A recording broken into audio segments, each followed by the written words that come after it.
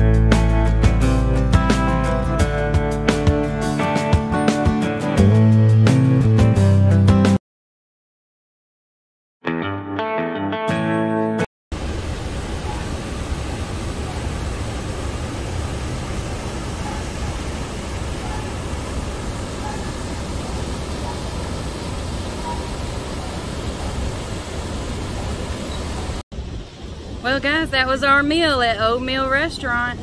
I had the old country breakfast.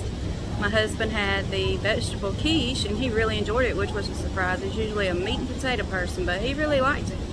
And then my son had the southern omelet and he said it was really good too. He ate every bite of it.